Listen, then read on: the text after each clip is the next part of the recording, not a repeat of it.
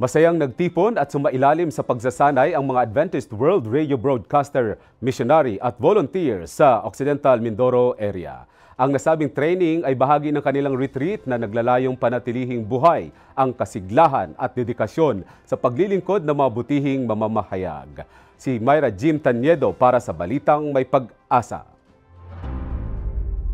I will go, Beast Witness through Baptism. Iyan ang tema ngayon ng isinasagawang retreat, training and seminars ng mga broadcasters, missionaries and volunteers ng AWR dito sa Occidental Mindoro. Lalong pinaigting ang samahan at pinalalim ang relasyon sa isa't isa, lalo't higit ang paglilingkod sa Diyos sa programang ito na pinanukala. At ngayon, ito ay natupad noong ika-isa hanggang ikatatlo ng Setyembre taong kasalukuyan dito sa Country Woods Resort sa Blayan, Occidental, Mindoro. Nang ibabaw ang pagpapala at pangangasiwa ng Diyos na bagaman hindi ganun kaganda ang naging panahon, naging maluwalhati naman ang pagdating ng mga delegado mula sa iba't ibang bahagi ng Occidental Mindoro. Kaya yung paghahanda ay talagang nahihirapan po tayo pero ganun pa man ay rain or shine ay talagang determinado ang Occidental Mindoro.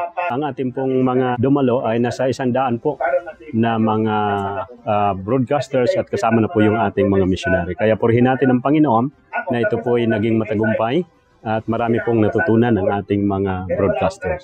Naging panauhin sina Pastor Roseler Zamora, AWR Project Coordinator Philippines at Pastor Neptali Popue, AWR Coordinator Mindoro Island Mission. Kasama rin sa nasabing programa ang MIM AWR Core Group at ang mga district pastors.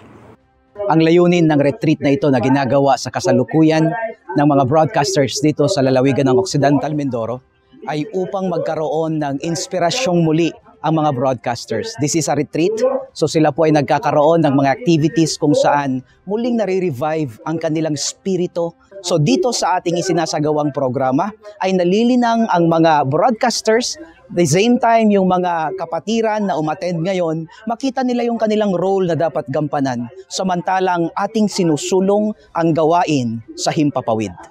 Kita sa mga ngiti at reaksyon ng mga delegado kung gaano kalaki ang pagpapala sa programang inilunsad.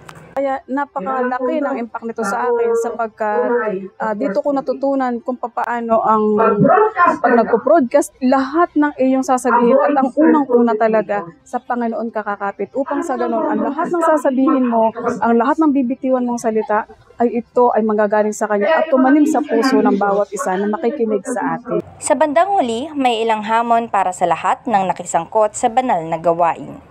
Sa aking mga kapwa broadcasters, patuloy kayong hinahamon na magpatuloy tayo sa ating paglilingkod sa ating Panginoon sa magitan ng pagbibigay ng mabuting balita through radio ministry sa kabila ng maraming hamon, alalahanin at pagsakripisyo natin sapagkat ang Diyos ang magbibigay sa atin ng gantimpala.